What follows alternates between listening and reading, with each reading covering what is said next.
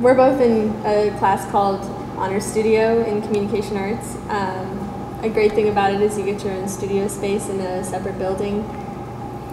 And it's also really nice because it's not just a solitary activity, you're also working with other artists, um, bouncing our different ideas off of each other, and it, it's a very nice environment for growth.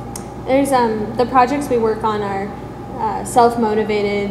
They're assignments that we set for ourselves. Our teacher doesn't tell us what to do, or uh, kind of he helps us in some ways, but he doesn't tell us exactly the project or assignment.